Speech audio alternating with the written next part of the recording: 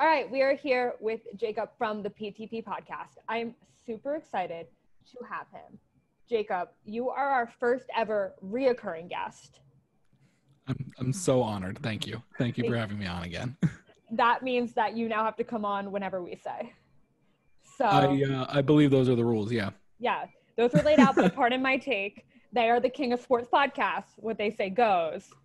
You are now at our beck and call. Um, no, I'm super excited for this because we lost our Panthers person. So I have been having these Panthers questions saved up, and now I like I was like writing it up. And um, anybody who's been listening to the podcast, you know that the first half of this podcast was super super short because nothing is happening. So I was writing this one, this doc for Jacob's interview. It is way longer. so everything that I've been thinking about all year, we're about to solve in the next 30 to 40 minutes. all right. I kind of want to start with just like this last season. Um, because the expectations I feel were super high for the Panthers, and then they just kind of panthered. They they very much did Panther. That's a great way to put it. So like Everything just kind of went wrong whenever possible. exactly. So like because I am not a Panthers fan, I didn't really watch the Florida Panthers. So can you kind of like walk me through what the fuck happened down there? Uh, first of all, lucky you not having to watch the Panthers all the time. Uh, because it was a really depressing season. You get Joel Quenneville to come in, you get Sergei Bobrovsky, uh, which although yes, the person and the goalie Sergei Bobrovsky is much more exciting than the contract Sergei Bobrovsky. Uh, but we can get into that in uh, in a few minutes. And you, you spend to the cap, and again, granted, spend to the cap is only good if you spend wisely. And we yeah, you didn't. spent like we'll talk Uh, about Matheson, but Yeah, well, they're they they they committed to spending to the cap way too early, and then when they missed out on Artemi Panarin, it was like, all right, what do we do with this money? And I guess the answer was Brett Connolly, Anton Stralman, and uh, and Noel Acciari, which only one of those was decent, and shockingly, it was Noel Acciari. yeah, because you hear Stralman and you're like, well, but no, he was garbage. See, right, Anton Stralman is exactly the kind of player we need five years ago. yeah, 33 year old post knee surgery Anton Stralman, not the player the Panthers needed. no, and a 33 year old knee surgery, Anton Stralman is prime Chicago Blackhawks bait, Exactly. That's and you you fell perfect. for it. So Bobby Ryan to the Chicago Blackhawks. Let's just call that right. Bobby. Ryan is coming to the Philadelphia Flyers. Let's put that out there. Did you grow up a, Flyer, a Flyers fan? I know he's Yes, South Jersey. did. but- okay. We are getting the from here line of Farabee, Gaudreau, Ryan, despite none of them being centers. I I feel wa- like Bobby Ryan could pull off. I feel like Bobby Ryan could pull off center, but like that is the line that I need, despite knowing that it will never happen and it would never work. I just need to see it with my eyes. that's I totally get it. I it's like the same thing as I want like I want a defense pairing of Chase Priskie and Andrew Peeke. I don't Yeah. care how we get it. I, I just want Like- them both here. We're we're halfway there. The Toronto gets to think about like the John Tavares, Mitch Marner, right. name another hockey boy line. Like, Zach Hyman. Zach Hyman. Like that's not fair. Why did they get it and I don't? Yeah, and you're welcome for Zach Hyman, another Panther screw up. Like, I'll take it. uh, like, I just I need to see that with my line, but with my eyes. But anyway, the Florida Panthers. Uh, who are they? Uh, no, so you you spend to the cap and you bring in all these players that on paper you're like, okay, yeah, and I think even I was saying before the before last season started, on paper this might be the most talented roster that the Panthers have ever come into a season with. There's a little asterisk on that. Well, yeah, the asterisk is that they've never really had a very talented roster to begin with. Well, I I mean any roster with Jaromir Jagr is on it, Mm, no yeah, matter that's- how that's how old he is. But okay, Jaromir Jagr was counteracted by Derek McKenzie and Willie Mitchell, like yes, and Erik Gudbranson. Like let's I will let's call not. a spade a spade. I will the teams not- that Jagr was on Okay, were not super talented teams. I have become a Canucks fan. I will not stand for Erik Gudbranson hate. no Isn't slander. Anaheim now. Is he? I thought he. Am I thinking of? I'm not a good Canucks fan. I'm thinking Maybe of you're thinking Eriksson. of like Ant- I'm, oh, I'm Louis thinking Eriksson. Louis Eriksson. Never mind. That, yeah, no, that makes, that's fair. There's there's nothing wrong with Louis Eriksson. He's he's No. just another player who makes way more money than he should. Mm, Um, uh, the Vancouver Canucks. Okay. there, yeah, Antoine Roussel, Jay Beagle, the list goes on. but Uh, let's talk about the Florida Panther. I'm, I'm like really trying to avoid that as much as possible. Uh, no, so so you get all these players, you get maybe the best head coach of all time, at least the best one of the best head coaches currently working. I mean, Barry Trotz gives him gives him a run for his money, but Joel Quenneville, top two, he's a top five coach in NHL history, hands yeah. down. So you get Quenneville, who you're you're like, okay, he can turn, but he can turn Alexander Barkov into prime Jonathan Toews, right? He can turn Jonathan Huberdeau into like almost Patrick Kane, right? You you you can do all these things, and then it just like didn't happen. I mean, John, prime Jonathan Toews was not good. Like no, prime Alexander Jonathan Bar- Toews was great. It was like six months. Right, that's the thing. He had a really like short Alex, prime. Like Alexander Barkov on a bad day is as good as Jonathan Toews will ever be outside of that six month period in 2010. like, let's put that out there. Yeah, no, I. But this season was a season of bad days for Alexander Barkov. So, and Gabby, we can get into this. The okay. the whole I know before before the season we had you and Shay on. Uh, I don't know if I'm allowed to say Shay, but that's I guess it's in reference to the past, and it was before she yeah. worked for the uh, Solar Bear, so it, it counts. Um, you, we had you and Shannon, you and podcast. TJ got at each other's throats um, about um, the Barkov versus I Couturier thing. Right. You were, and in and I fairness, got... I was kind of on your side. like I have never been wrong once ever. I know this, and I.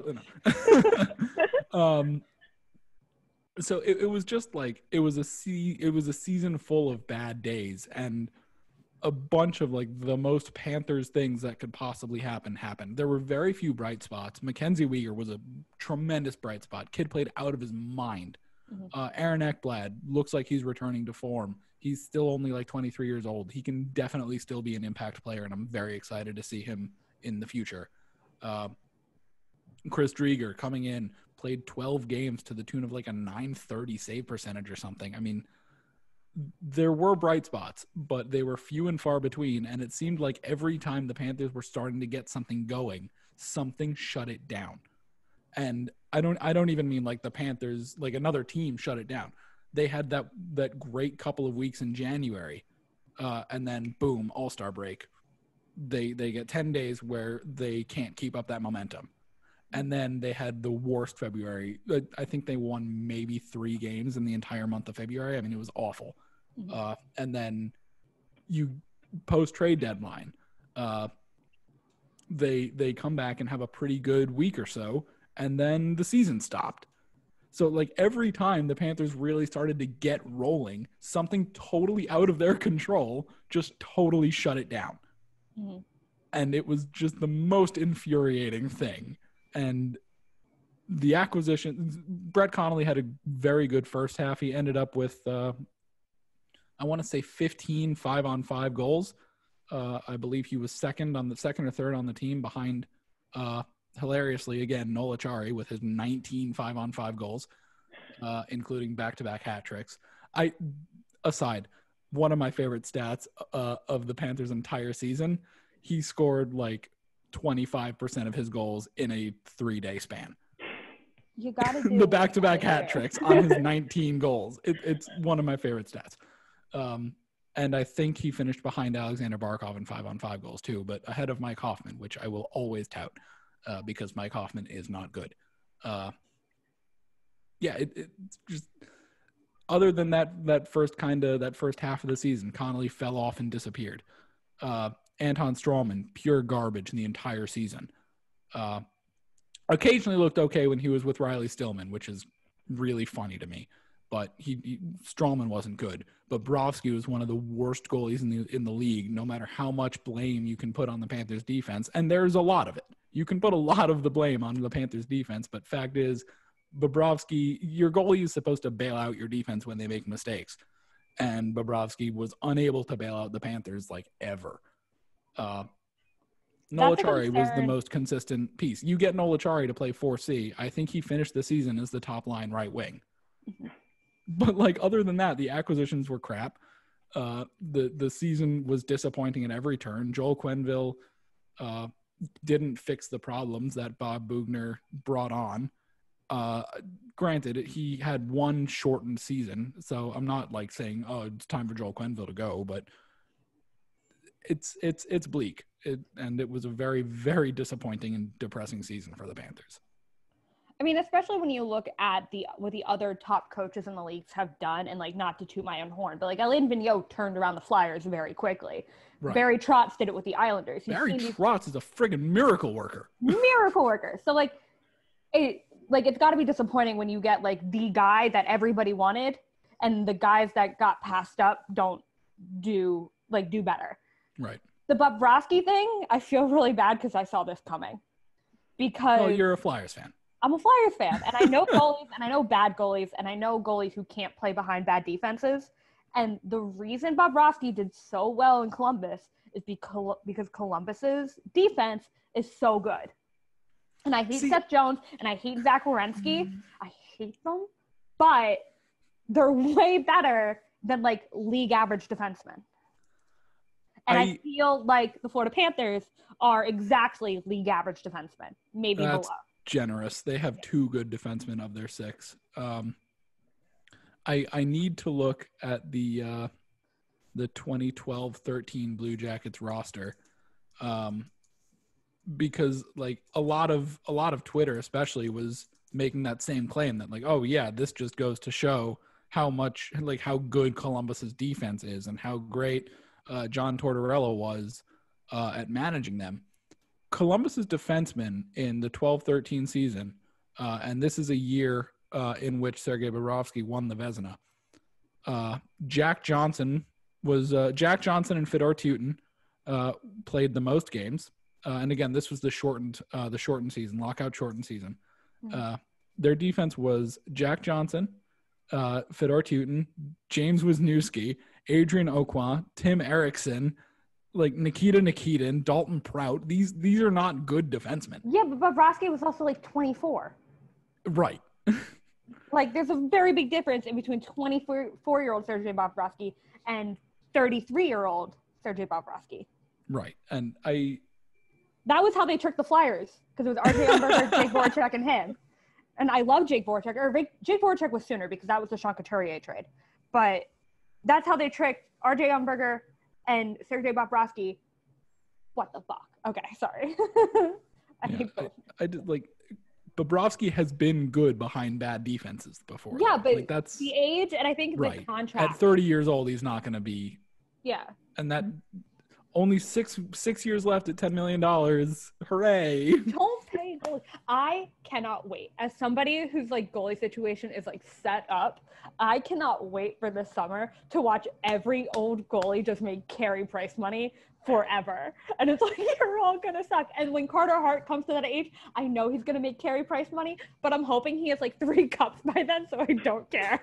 Well, you you say that, and I I don't want to belittle Carter Hart. I really like him, and I wish him the best for his career. These are about to Matt be Murray won words. two Stanley Cups as a rookie, and ask Penguins fans how they feel about him now. Uh, Penguins fans are dicks.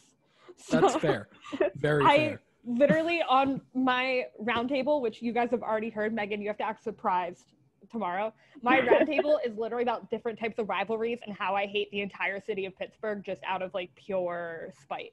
Which is why you now love Patrick Hornqvist. Yes, petty king. Let's let's skip to that. That's later, but like let's just skip to it. it, Um, it came up naturally. it came up naturally. So we talked about what the Penguins are doing earlier. We got to talk about the Florida Panthers side of this trade, which we are saving for you. Um, I mean, Patty Horn, this is great for you. Patty Hornqvist is not like the pen that you want, but he's way better than Colton Sceviour and Mike or Mike Matheson. Yeah, Yeah. Emily Matheson's husband. If you know anything about my brand, Jared McCann is the pan is the penguin that I wanted. Um, You can't have him back. I want him back, and Jim Rutherford is clearly an idiot who's willing to do anything for anyone. you did not keep the receipts. Jim Rutherford or Kyle Dubas keeps his receipts. He can return. Um, yeah, I getting Mike Matheson off the books. Bill Zito has been the GM of the Florida Panthers for mm, a month. He's already one of the best GMs in Florida Panthers history. So this is just for getting Mike Matheson off the books without This- any amount of salary retention. okay. This was really the thing that like was next in the list. Well, firing Dale Tallon, but we'll get back to that. Bill Zito was the guy that I wanted for Philadelphia. So when you guys got him, I don't hate the Panthers. I have a soft spot for the Panthers because of the ghost. I was so excited for you guys. Then he hired the Minnesota Wild front office, and I was like, "What you doing, Bill?" yeah. But I- this being his first move, you got to be excited. Yeah, as far as like office personnel, I'm really iffy on his decision so far. But as far as roster construction goes, he's batting a thousand easy. Granted, this it's a sample size of one move, Yeah. but it is one fantastic move. And I don't think Bill Zito is ever going to be the guy to, to get you the superstar, which I have a question about that later on. Um, but I think that Bill Zito is going to get you all the right pieces to build around the superstars that you have because you have them. The problem is that they're not being utilized. Mhm. So, like, like Alexander Barkov should be winning Selkes when Sean Couturier is not. Like he, like Sean Couturier won, Barkov two. They Barkov and Couturier should be trading the Selke back and forth like Bergeron and And Toews. Like, like Bergeron, Toews, Kopitar. Like, yeah, that should and be. Ryan, I guess we have to throw Ryan Getzlaf in there for fairness, but No, we don't have to do anything for Ryan Getzlaf. well, okay, but there can also be an Anthony Sorelli angle here. Yeah, So, but like you, you have the right stars, and now it's about building around them. And I think Bill Zito is gonna be that guy because Bill Zito loves his team. Here, okay, so the reason Philadelphia wants him is because he just reminds us of a Philadelphia sports guy. yeah. no matter what team is on, he is going to die for that team. And I think that's the kind of GM that you want talking to players who want to like move on. Like they're he's never going to convince like uh who are the big free non-goalie free agents this year? Alex um, Pietrangelo. uh, Like he's Taylor never going to convince Taylor Hall to come and play God, Taylor Hall. He's never going to convince well he might convince Taylor Hall to play for the Florida Panthers. I kind of hope not. but like but like he's never going to convince Alex Pietrangelo to come play for the Florida Panthers. But what he's going to do is he's going to make Patrick Hornqvist hate the fucking Penguins and waive his no trade con- contract or no waive There's no, No trade clause. no trade clause. Thank you. it was a full No- no, trade clause that becomes a modified no trade clause, no trade clause next year. Yeah, he's going to talk Hornqvist up. He's going to talk about the Panthers so well that he's going to get horny to to waive his no movement clause and come to the Florida Panthers.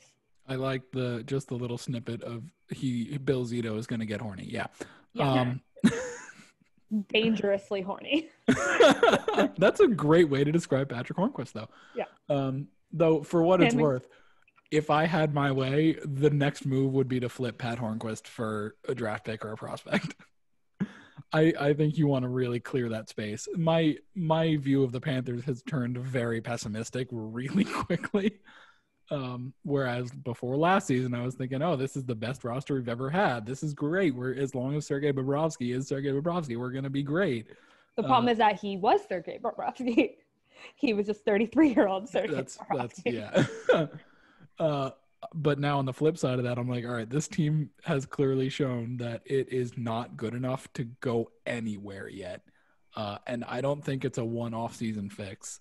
Um, so maybe Pat Hornqvist, 33 year old, he'll be 34 before the season starts. Uh, so maybe with the three years left on his contract, you get one good year out of him. Uh, he, he is a very very rough uh, injury history, lots of concussions. Uh, he's not gonna be the player that he was when the Penguins were won the back to back cups. I mean, that was for couple what four or five years or three or four years ago at this point. Four or five. 2017. Time is a joke. Um, he, he's he's still one of the best net front guys in the league. It's like Hornqvist and Pavelski. Like they are the guys who can bother the hell out of a goalie and tip the puck into the net, uh, or just screen the hell out of the goalie. Like that's still helpful. And Pat Hornqvist does bring a lot of things uh, to the Panthers that they need. They need someone to be that guy. They need like I hate what I'm about to say. They need someone to be the tough guy. Yeah.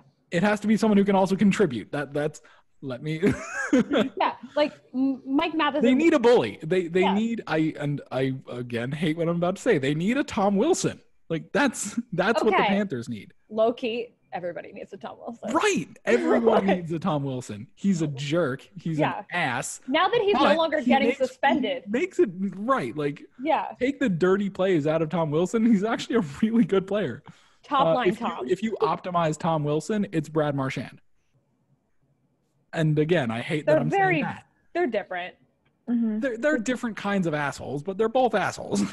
No, even their playing style is very different. Like Brad Marchand is never going to be able to bully people. He's going to be a pest. Like I, when I think of Brad Marchand, I think of Travis Konecny, where it's like they're just going to annoy That's- the shit out of you.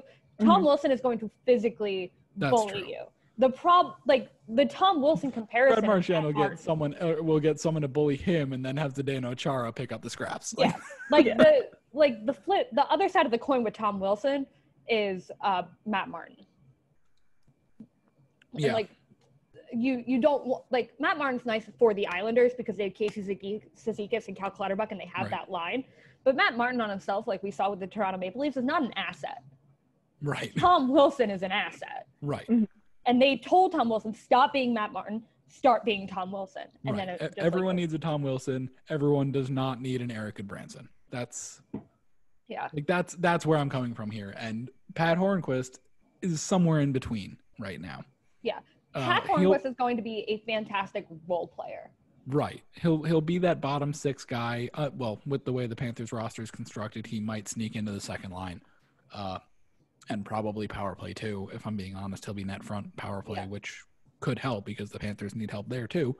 Uh, their top power play is golden. Well, without Mike Hoffman, we'll see what happens. But because that's the one place where he isn't terrible. Um, I have lots of bad things to say about Mike Hoffman. I'm not a fan. Go to Erik Karlsson. Uh, You're fine. You're good. uh, but the thing about Hornqvist again, like he's making five point three million dollars against the cap for the next three seasons. The Panthers are not going to be good as a team for the first of those three seasons, and that's really the only time that I think Hornqvist is going to provide any on ice value. Uh, so uh, if I had my way, I'm calling like Nashville and Vancouver and maybe even Dallas and saying like, "Hey, do you want Pat Hornqvist? We'll take X prospect or a third or second round draft pick." Mhm. And I, I, the Panthers need to build up their draft stock and figure out how to be good for themselves without having to like go out and sign Anton Stralman and Brett Connolly again.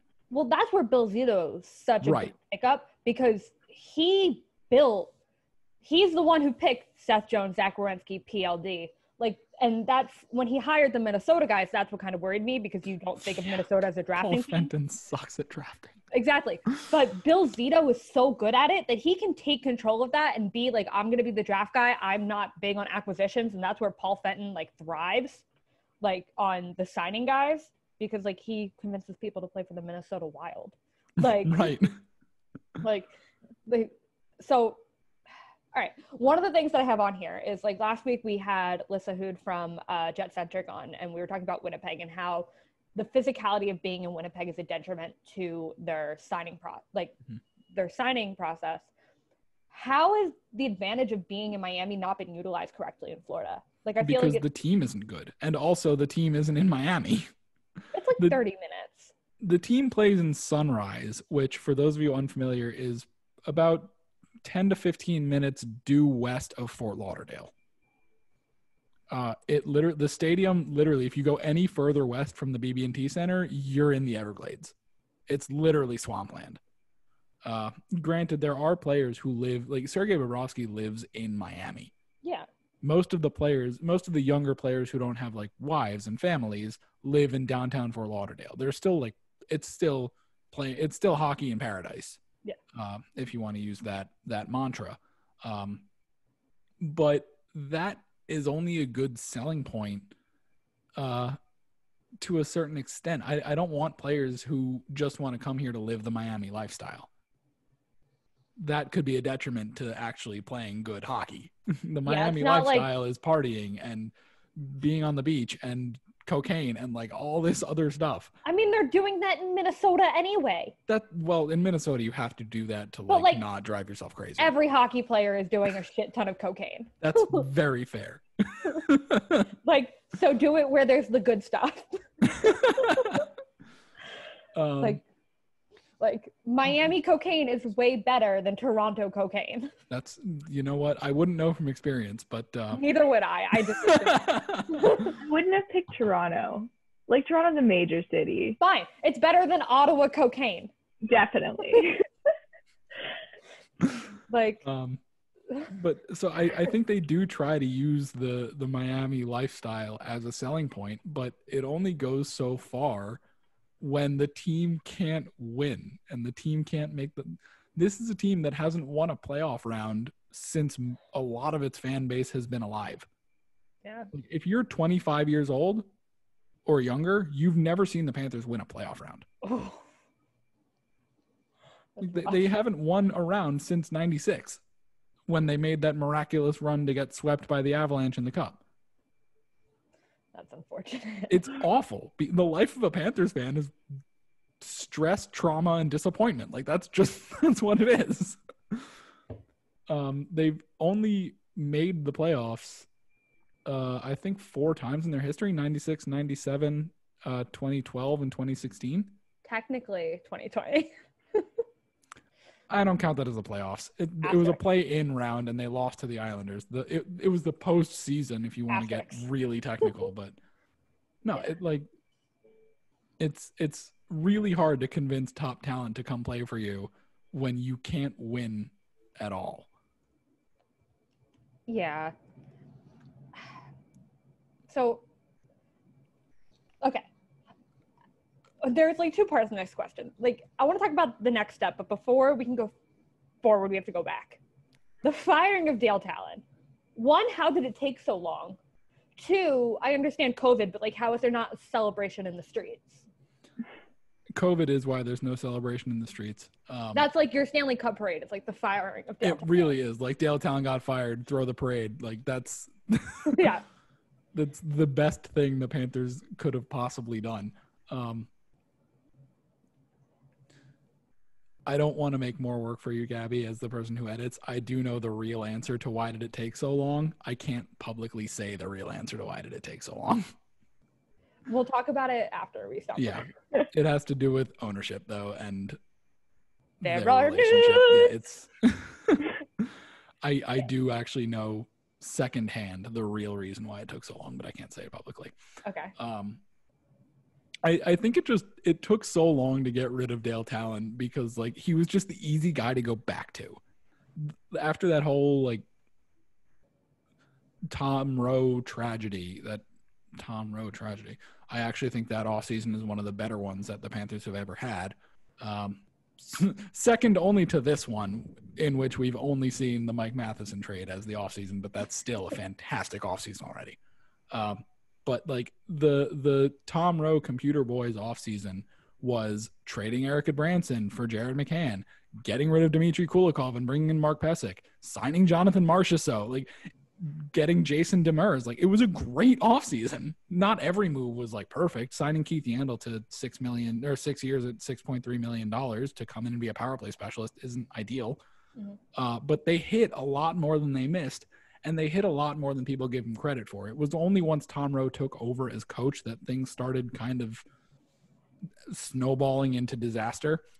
Um, and let's also not forget that that was uh, like that was a rough. Uh, never mind. I think that was the season after that. Jonathan Huberdeau had his had his Achilles cut before the season started. Um, so it, it, it, it was only once Tom Rowe took over as coach that things started snowballing into disaster. And Tom Rowe's awful coaching style is what made ownership kind of think like, hey, maybe this isn't working, and blamed the the computer boys who only had six months to actually do anything. Uh, and at the end of that season, you quote unquote fire Tom Rowe, who was actually technically kept on as a senior advisor, but kind of hidden away in a cave somewhere, and no one So ever heard his name again. Hockey works. Right. Mhm. Uh, and Dale Tallon was brought back because analytics were viewed as the enemy and why why the Panthers became a problem that year. Trusted hockey man, work. Dale Tallon. Exactly. Like that's why it took so long. Cuz the one the one off season that they kind of tried to modernize didn't result in immediate success and Dale Tallon was still involved in the organization. So it was so easy to just plug him back into that GM role. Yeah. I mean, and then there just wasn't really they should have fired him in they should have fired him after the 2010 draft. Like he shouldn't have even gotten a season. But that's a different story. There were so many opportunities to get rid of Dale Tallon that would have been justified. The fact that it took 10 years to finally like totally remove him from the organization is pathetic. And that's through two ownership groups too. Yeah. But yeah. I mean, I don't think of Bill Zito as like in the, the Minnesota Wild group as like modern hockey guys. oh, they're not. yeah, like like I mean, every time I look at Bill Zito, I just think of every guy who's ever been on the news about the Philadelphia Eagles. Like that's just what I see in my head. Like I know that's not him, but it is him. Like he's got a dog mask in his like closet. Um but I just like like that's who he is. So but I mean, I think their old school eye approach kind of works. So like don't knock it. Like I think I think if you're gonna go computer boy style, you have to buy in. And the Florida Panthers have shown that they're never gonna buy into that again because like it didn't work for six months. So if you're gonna go old school approach, you gotta hire the right people, and Bill Zito and that group are the right people for that. Right. And- Um, I don't think Bill Zito is a total scorner. That's not a word, but I'm gonna I'm gonna stick with it. He's not a he doesn't like scorn analytics and data. Um, we no, we had not uh, comfortable with. we had Alison Lukan on our on point to point uh, a couple of weeks ago, uh, and she mentioned that like he spoke at uh, at a at a CBJ hockey analytics conference panel on on analytics. Like he he's I don't think the data is his favorite part of his job, Yeah. but he doesn't totally ignore it either, which is Yeah. nice. Like I think so like obviously I don't know him. But I think like n- the numbers are not for everybody. I don't totally understand them. Megan gets them way more than me, but like I think you use them c- to kind of make sure that what you're seeing is correct. right. And I like that is the good way to do it. You don't want to rely too heavily on the numbers because like science is difficult and math like skews stuff. Like we see that all the time. Um, and you don't want to purely rely on the eye test because there is a bias there.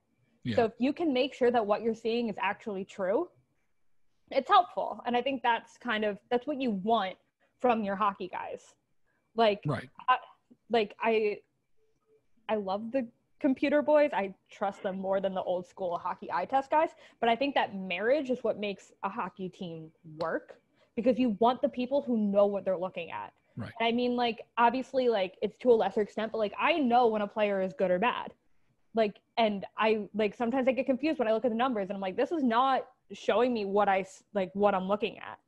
So, like, it's very like you want to have that eye test and somebody to double check their work. And I think Bill Zito's the right guy for that. I had a point earlier about Patrick Hornqvist and I forgot about it. Patrick Hornqvist is going to be like Wayne Simmonds.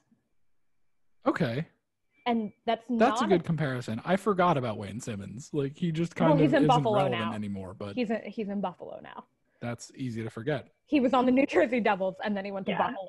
I, like I remember him being a part of the Devils. And Yeah. Yeah. but like I think of Wayne Simmonds in his last year where you're like I like you're not doing much for me, but what you do is super helpful. So thank you and also you're Wayne Simmonds and I love you and you raised me. And I think that's part of it. Like Patrick Hornqvist didn't raise you guys like he raised Flyers fans, Right. but Patrick Hornqvist got rid of Mike Matheson, so there's going to be a little bit of that that you're like, "Oh, I want to love you so bad, but you're so frustrating, but like sometimes you do really good things." And also, he makes five point three million dollars against the cap to probably be a bottom six forward. Bottom six forwards are not the worst, okay? no, but they shouldn't be making five million Yeah, like- especially not at thirty three years old, thirty four years Nathan old. MacKinnon makes like five million dollars. I I had a realization uh, yesterday that like because someone someone on my Twitter made a point that like oh if if if he makes uh, if he makes our star players worth their cap hits then he'll be worth his, and I was like uh, it, it like hit me all at once like Barkov and Huberdeau make half a million dollars more than Patrick Hornqvist. Yeah. Like are you really going to sit here and tell me that Jonathan Huberdeau and Alexander Barkov, both of whom paced for like hundred point seasons, aren't worth five point nine million dollars, but Patrick Hornqvist is worth his five point three. Like, are you kidding me? Hold on, Nathan MacKinnon. MacKinnon is making six six million six million bucks flat. Uh, yeah. Okay, hold on. Sean Couturier is on a really good contract too. Shea Theodore. I when Shea Theodore wins his Norris, making less than six million dollars a year, like that's the best contract in the league. So Patrick Hornqvist makes 0.8 million dollars more a year than Sean Couturier. and Sean Couturier just very deservedly won this Selke. Like Oh my god. I hate hockey. That's so stupid. right, like I don't dislike Patrick Hornqvist as a player. I think he brings a lot of things that the Panthers need, just not at that cap hit, which is why I would love to flip him. Yeah, I mean Patrick Panthers need to Hornqvist. set up for their next window because this one is closed. Patrick Hornqvist got a two cup bonus. like Right. that's what the Panthers paid him for. Right. So, or not the Panthers, the, The Penguins Pen- paid him Penguins. for. It's what Um, the Panthers paid for now. Yeah. um, is that veteran leadership? Right. But you're right. The fact that Patrick Hornqvist is the manifestation of not Mike Matheson Yeah. Is going to endear him to a lot of Panthers fans. Can I tell He makes you more what? money than Matheson. Like the cap hit is higher. But the fact that three years from now we'll be totally free of that cap hit and the And he's Penguins will not still Mike Matheson. Mike Matheson four point eight million dollars. Like Yeah. have fun with that, Pittsburgh. Um, Have fun with you also gave them Colton. Sceviour, so it actually came out. You also gave them Colton Sceviour, so it came out like about even. But Sceviour, for this season, the Panthers come out ahead in cap space. Sceviour has one season left on his contract. Mm. Um, so the two seasons after this coming season, the Panthers are on the hook for about half uh, half a million more. Uh, yeah, but then but then the seasons are the three seasons following yeah, is when the Panthers are golden. Mhm. But I, Um, my personal preference is get rid of the cap hit entirely as soon as you can. So if you can flip Hornqvist while he still has value, Yeah. maybe the play here is like what is set what him is up Ottawa as, set him up as power play one They and power to play hit the two. cap floor. Yeah, Ottawa Ottawa, hit Ottawa needs to hit that cap floor. So Ottawa, Ottawa, well, Ottawa also shouldn't be getting rid of futures right now. True. So while they do need to, they do need to hit the cap floor. You're not going to get much much value uh, out of them for three, four, five years down the line. Let me Um, look at something. May- Maybe the play with Hornqvist, honestly, is to set him up with more ice time than he deserves and set him up with some power play time. Try to really ceiling his value, and then flip him at the deadline. Thoughts on flipping uh Hornqvist for Artem Anisimov for one year. It's 4.5. And then you're done. I'd do that. Panthers need a center. I mean, I if if that It's was not- but and then like you do that in like a second in three years. right. Like I, I I would I would trade Hornqvist for Anisimov. Yeah. Anisimov might be terrible, but it's a center. Um the Panthers will- are in desperate need of NHL level centers, and there is an argument to be made that Artem Anisimov is no longer an NHL level center. But, but that's it's a a level center, which is better than AHL level center. So like whatever. I will tell you what endeared Patrick Hornqvist to me, because this is the thing that brought up my point about Yep. is him just being like, "Fuck the Penguins. Here's all of my shit. I'm gonna run it over with my car. Actually, I'm not here. I'm in Sweden. I'm gonna have somebody else run it over with their car and then leave it in Pittsburgh. Fuck this Schittsburg team. Yeah, that was fantastic to see. Like I I love that attitude of like, all right, this team's done with me. Fine, I'm done with them. Like that's I'm going to Florida. Like Yeah, like I'm gonna do that good cocaine and not have to listen to Cindy Crosby. do you think Cindy Crosby is like tells the worst stories in the locker room and because he's Cindy Crosby, everybody has to laugh? Like there's no, I actually I think he tells great stories. I just don't think he's good at telling them. Like that's that's the vibe I get from Sidney Crosby. He has great stories to tell. yeah. He just doesn't tell them in an exciting way. See, I think Cindy Crosby like goes home at night and plugs into a wall and just like boom. Like I don't think there's like anything like we talk about head empty no thoughts when it comes to like Jamie Benn, Kevin Hayes, Travis Konecny, but I think that Cindy Crosby it's like elevator music, but then it's like boop time to die. Like you know in iRobot when like everything like wakes up Yeah. that that's Cindy Crosby.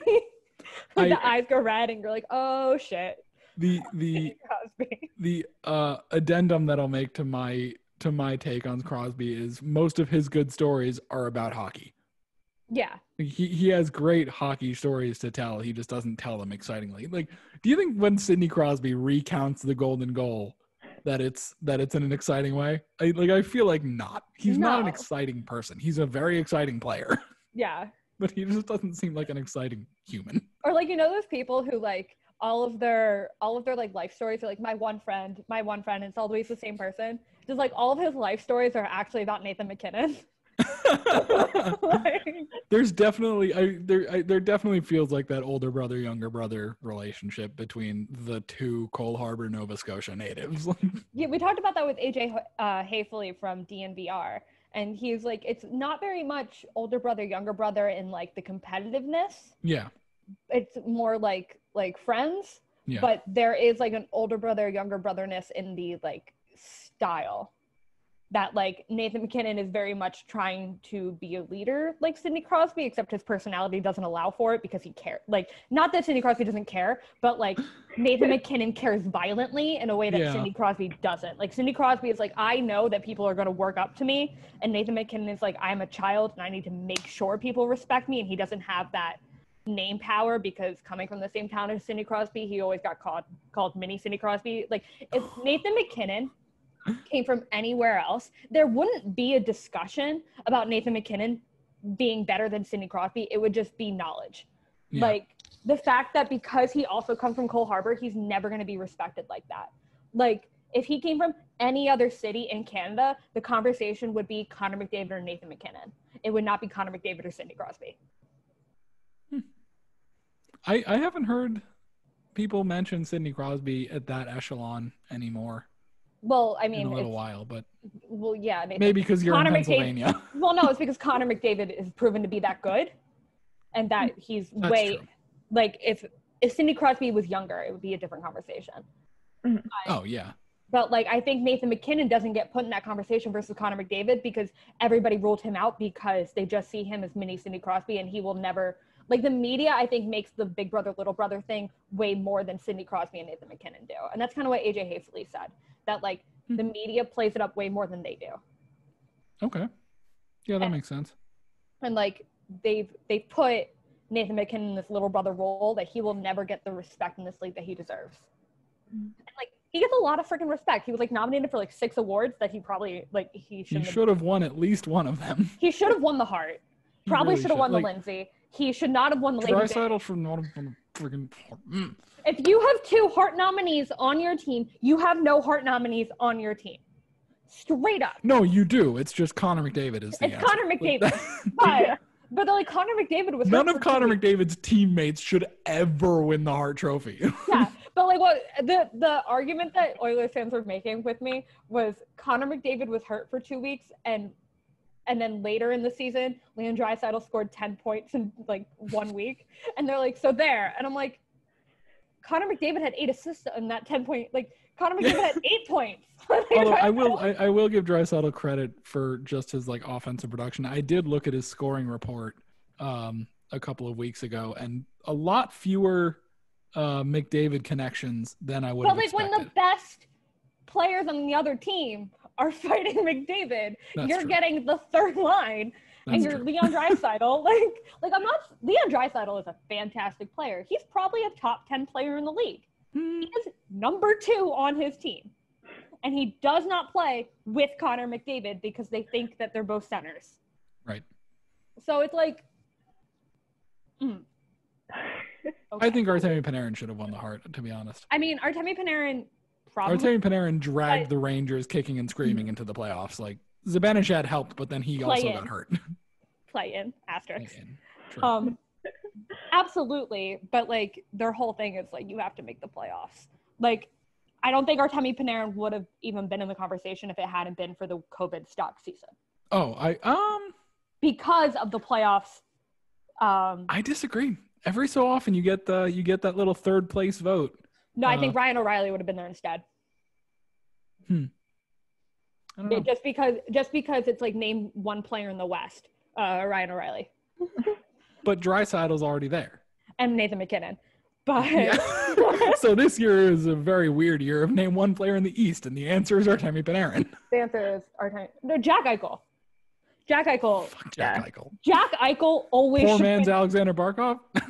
Jack Eichel should always win the Hart Trophy. Nobody is. Uh, it's Connor McDavid and then Jack Eichel because nobody is more valuable to their team than those two guys. right. I, I do hate the wording of the Hart Trophy. Absolutely, because the, the most valuable to your team. Like like Leon the- Draisaitl, the best player on the worst team should then win the Hart. Like Yeah. that's Like Leon Draisaitl deserved the Lindsay Trophy. Leon Draisaitl was the best player in the league this year.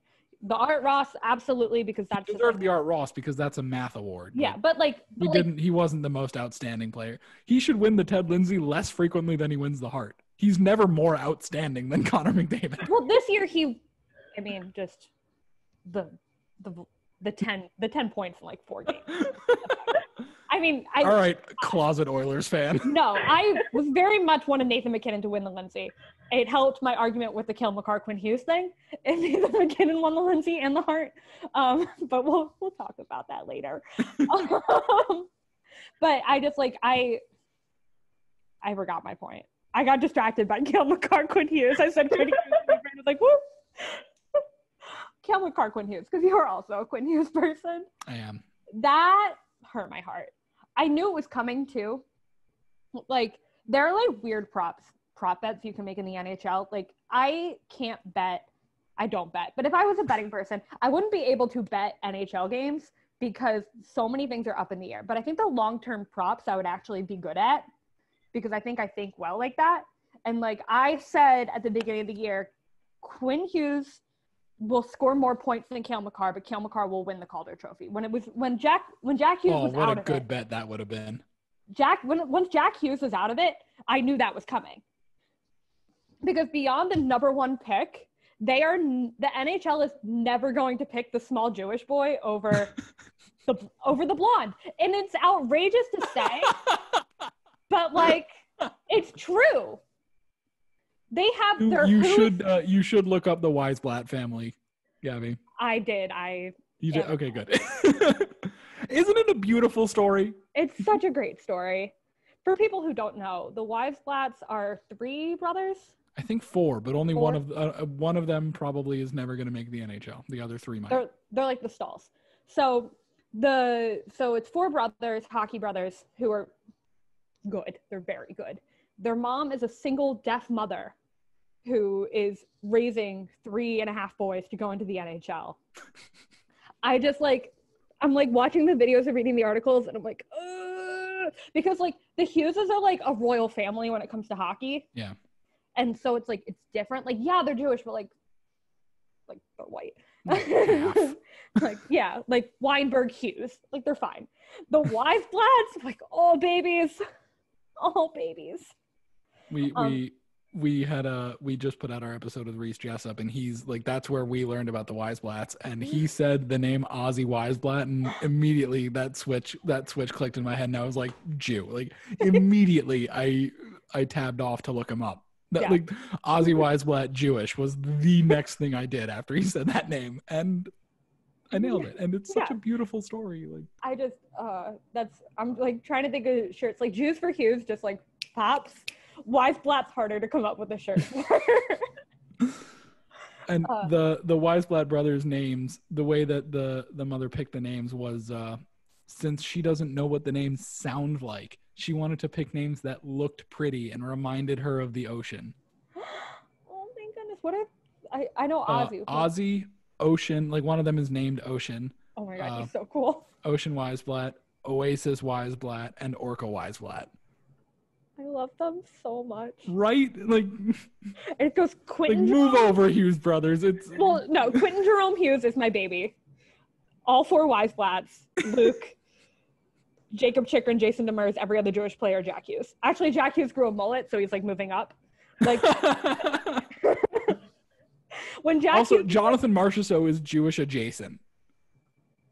His girlfriend is Jewish, and their child is ra- is being raised Jewish. okay, you went to a Like, Jewish that's like Nate Thompson. Nate Thompson is like converted for his wife. So I'm like, Nate Thompson's Aw. cool. That's everybody hating on him because he sucked in the playoffs. I was like, you leave Nate Thompson alone. We hate on Derek Grant here. Nate Thompson kills penalties and is Jewish. We're in. That's like I realized over the playoffs that like there's something like really sexy about effectively penalty killing. Oh, abs- why do you think I love Alexander Barkov so much when he's actually on his game? Like That's like the thing that put me back on my Tyler Seguin bullshit wasn't like his wokeness like woke me up, but it, when I found out that he penalty killed now, I was like, oh, we're here, we're here to stay. but is he good at it? Yes, I mean as much as the stars are, That's fair. like they were good until they had to face the Tampa Bay Lightning, and then it's like, oh, Well, story of most teams in the NHL's lives. yeah. So I'm like, oh shit, like Tyler Seguin is now woke, and he can penalty kill, like. Tyler Seguin's credit, he does have a a positive impact on his expected shorthanded defense. Good for him. Like the perfect man doesn't exist, but Tyler Sagan is out there. Um, we derailed from the Panthers a little bit there.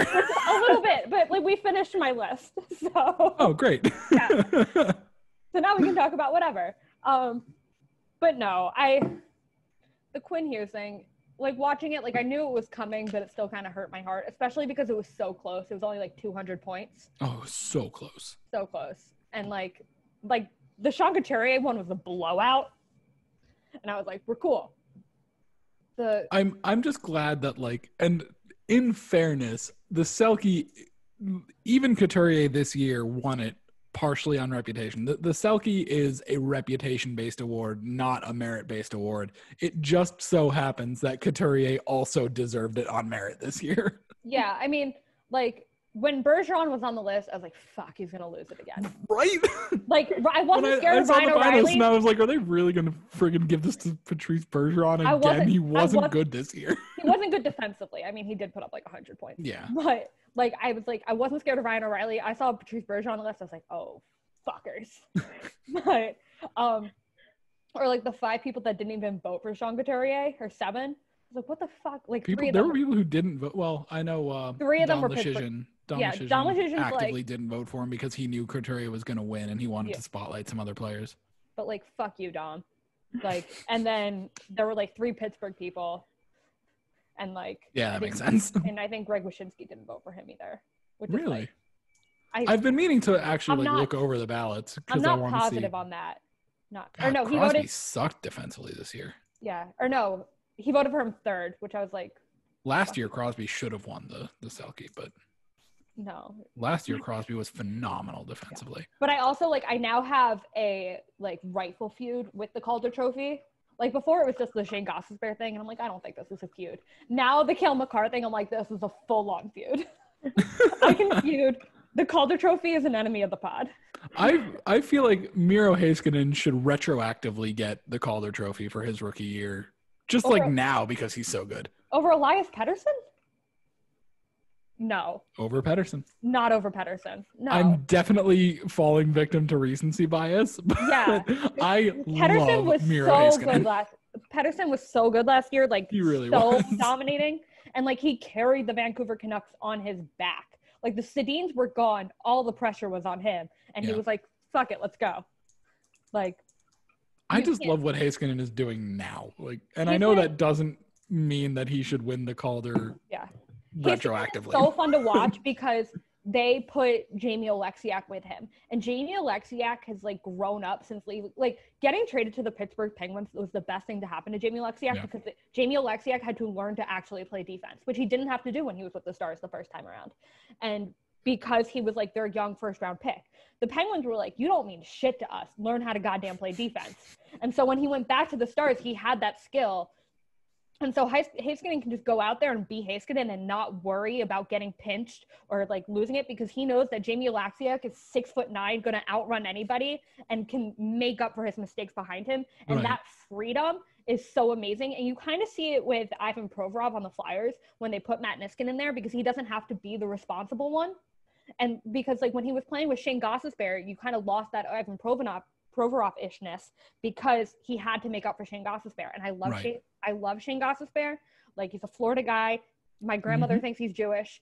He's not, but my grandmother has made him an honor- honorary. Not everyone who grew up playing at Pines Ice Arena is Jewish. Like that's. Well, she's like, he's she's like, he's from South Florida, and his nose, he's got to be. And I'm like, no, I'd, No, I'd, I'd focus more on the eyebrows than the nose. Gostisbehere's Goss's Bear's got some Jewish eyebrows. I know, but like, I'm like, grandma, like that's anti-Semitic. I feel like I need to clarify on the podcast that I am Jewish. Like otherwise, a lot of the things I'm saying start sounding really weird. but I'm like, but like, I love Shayne Gostisbehere, but like playing with Ivan Provorov handcuffs Ivan Provorov, and you do not want to handcuff Ivan Provorov. And so, If the Panthers could find a way to get rid of Keith Yandle and bring in Shane Goss to replace him, I would be so happy. you mentioned the defensive pairing earlier. Like, why would you not want Jakob Chychrun and Shane? I because I Bear? kind of forgot about them for a split second. Like for some reason, Andrew Peeke and Chase Priskie were the ones who came to mind. also you got to be thinking Luke Hughes, Hughes next year. He's need- not from Florida though. He was not born in Florida. Oh, he was His up in Hughes family had moved out of Florida by the time by the time Luke was born, so I don't Oh. care about him. Other than that, he's Jewish. I mean, rude. Luke is the third best Hughes behind Quinn. It- the power rankings are Ellen Weinberg Hughes, yeah, Quinn Hughes, um, Luke, any dog they have, Jim, Jack. there you go. now, Jack Hughes holds a special place in my heart just for being the first Jew to ever go first overall. I mean, when he grows his mullet, he will bounce over his father. But flash me your titties hanging out with Dixie D'Amelio, Jack So Hughes is ridiculous. pretty low on my list. Like, Yeah. I love him. He's my child, but you're like, oh, my kid's an asshole. he is quite literally the middle child. Like, That's, somebody made a uh, thread of like the Hughes' best moments, and so many of them are Luke. I'm like, oh, you're so dumb. I love you so much. My favorite thing right now is that picture of them playing basketball that Jack, like, Jack is good for one thing, and it's posting amazing pictures of his brothers.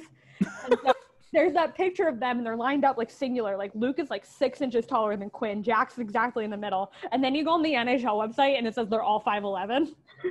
You're like, they're quite literally I not. love the NHL. They're like Quinn Hughes, Jack Hughes, Luke Hughes, all 5'11. Travis Konecny, 5'11. Mitch Marner, 5'11. You're either 5'11 or 6'4. Like, that's how the NHL works.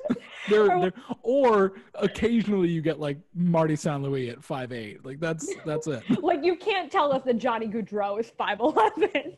like he's got to be 5'9. Like we have eyes. Right. like maybe in skates, but probably not. no. Skates skates add three inches. Like, He's so, well, 5'11. if he's five nine, then he's six foot on skates. no, they but- they have him listed as five nine. that boy is not 5'9. Um, okay, yeah. Um, oh, and then Kevin Hayes makes fun of Phil Myers for being like super tall and lanky. He's like he calls him a giraffe and all this thing, and then it's like one uh, interviewer is like, "You know, you two are the same height, right?" And Kevin Hayes is like, "No, we're not," and he's like, "No, you quite literally are the same height." he's like, "Well, well, he's a he's a he's a leaf eater." They the are both listed at six foot five. Like, what the fuck God. does that mean, Kevin? I always forget how tall Kevin Hayes is until I look it up. Like Um, he he does not look like he should be six five. the first thing I said to him, like, uh, like I'm crying. The first thing I said to him is, "Wow, you are so big." He's like, "Uh, thanks." And then I was like, showed him the weird sweatshirt I made, and he laughed, and we were cool. But I was like walking out to him because I'm five foot three. He's six foot five. I like, I'm in love with him. the first like, "Wow, you are so big." And if you know me, you know that I like them dumb and huge. yeah. like, I was like, "This is not okay. Like, I can't fall more in love with you." it's just like he doesn't look like he should be that tall. He has like that squished little face and like he he should be like five nine, five ten. Kevin but no, he's though. six five. Kevin Hayes should be like six two. He has no business being six five. Right. None. But, but here we are. good for him. That's like um there was a line at one point that was JVR, Kevin Hayes, and um Travis Konecny, and JVR is also like six five. And I'm like, Is oh, he? they're taking their baby for a walk. Is James Van Reeves like that tall? He's also one of those Yeah. players that JVR is seem. huge. God, he's six. He's listed at six three. yeah. JVR is ginormous. And JVR isn't just tall. Like Kevin Hayes is tall, but he's like kind of narrow. Same with Will Myers. JVR is just broad. okay this is this is the thing that really messes me up Um, this this is this is something I would never expect just by like thinking about it, but is apparently true. James Van Riemsdyk is taller than Trevor Van Riemsdyk. Yeah. I don't like that. That- maybe it's because in my brain, like the defenseman should be taller than the forward. Yeah. But James Van Riemsdyk is an inch taller than his brother Trevor. You know what my favorite like weird size stat is? Like you know how they're like women are too small to play in the NHL, like blah blah blah. Claude Giroux and Hilary Knight are the exact same height. I was gonna weight. say, isn't Hilary Knight like six foot? Like Yeah. Well, yeah. Hilary Knight and Claude Yeah, Giroux yeah. are the exact same height and weight. Like ridiculous. Or like, okay, some I was talking to a guy earlier and he was like, I have like a weird icebreaker on Bumble.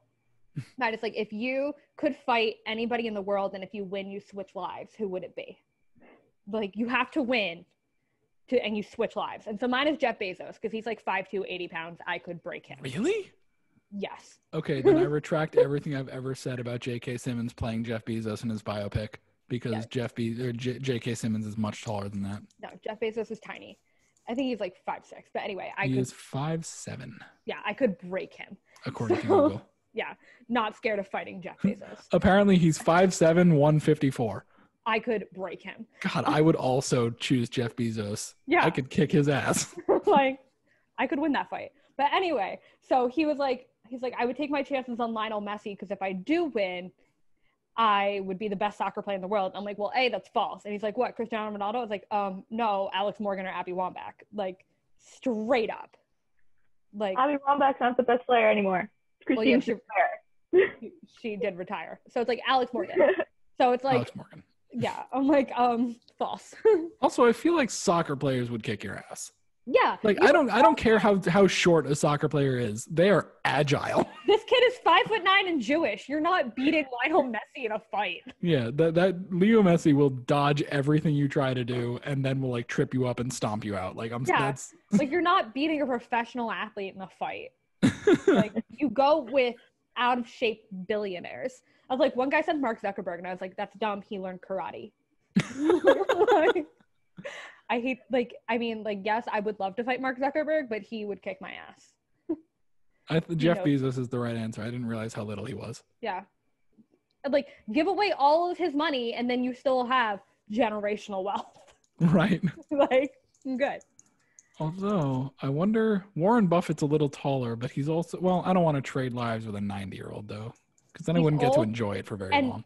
The most interesting man in the world is based off of Warren Buffett. So like you don't know what he knows.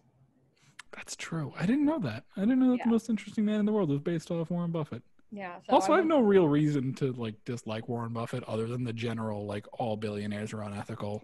Yeah, but like he got his in finance. So like if he didn't get caught in the 2008 shit, I have no reason to dislike Warren Buffett because like they all got audited then. True. I mean, Jeff Bezos and Mark Zuckerberg are like actively evil. Also, Warren Buffett lives in Omaha, and like, who wants to live? Who wants to be ninety years old in friggin' Omaha, Nebraska? you know Like, how, but like no, you don't have to be 90. You just trade lives. Like you're still you. Oh, Yeah. So like oh, interesting. so you'd be 25. I'm guessing Seven. Seven. um, you look great. you'd be 27. This is, for the record, this is the first time in like ever that anyone has guessed younger. I usually get older, but now I'm getting to that point Well, no, where so I here's the look thing how is old that- people have thought I am. Well, so here's the thing is that I know you're Jewish and I know that Judaism ages us. And so I'm like, take it back. Um, like our people have suffered and now we have bags under our eyes. Um, Megan's so uncomfortable. Megan's like, can I laugh? I don't know. Yes, Um, you can, if we can make the jokes and you can laugh, you can't right. You are currently Jewish adjacent, so you're allowed to laugh. Um, you cannot make the jokes. Bingo. Oh, but I'm like, I you, but like you still you have to say in Omaha. But you have that. no, kind of I. I wouldn't want Warren Buffett's life if I meant I had if it meant I had to stay in friggin' Nebraska. I don't But want to like the cost of living in Nebraska is so low. I know, but if I'm gonna switch li if I'm gonna beat the crap out of a billionaire and tr- and get his life, I'm gonna choose the one that lives in Seattle, not the one that lives in Omaha. True. Uh, or like, no, Grimes could beat me in a fight, and then I it's like the first like Also, I would, would you want to be married to Jeff No, I Bezos? would- Like, ugh. I would divorce Elon Musk, Uh, oh, right, Elon money. Musk. That's what I meant. Duh. take half his money, expose him for all his weirdness, and then own SpaceX. True. 'Cause that's But what I would For some reason, I feel like Elon Musk, you would lose in a fight, though. Also, Yeah. six two. I wouldn't want to deal with that. He probably knows. No, Grimes. Thing. I'm fighting Grimes, but I feel yeah, like I'm just trying to think of the other would like side bring of it. she like, would bring a knife. So like I'd be done. Wait, yeah, hold on. What are the stipulations of this fight? Is it is it like a one-on-one fist fight, or It's like cage match, MMA, UFC style fists. So then Grimes isn't allowed to use that knife. but she would bring it. Like she would carve her like fingernail into a shiv. But like she didn't even carve it; it just already was that way. yeah, that's just how it grows Yeah. naturally. Uh, like anybody who like names their baby AEX12 is not playing with a full deck. Uh, I still want to know how that's supposed to be pronounced. Uh, Aisha. Aisha. Yeah. No. No, it isn't. Where's the uh? It's not in the 12. I don't know. Whatever. Man. That's the only time I ever watched anything from Joe Rogan was when it was like, Elon Musk teaches you how to say the baby's name, and I was like, click. I was like, I was like, I hate all of these people, but I need to know. That's I- like, have you ever? Thank you, thank you for informing me because I wanted to know. I No just was never curious enough to seek it out. Have you? Have? Did you ever watch Happy Endings? Uh, no, I don't think so. It was like ABC's like Modern Friends. It's so good. It's so good. It got canceled after three seasons. But the Rachel character owns a store. Her name is Alex. The store is Alex backwards, X C L A. And then in the third season, she's like, my, she's like, I'm going to Shayla, and they're like, what the fuck is Shayla? Like, it's my store, and like, there's a way to pronounce that. like, that's what I think of every time I see that baby's name. yeah, no, I, that totally checks out. All right, we've taken up enough of your time. we haven't talked about the Panthers in like 20 minutes. So we're gonna let you go and we're gonna go do the rest of our show. Sounds great. well, thank you so much for having me on. Right.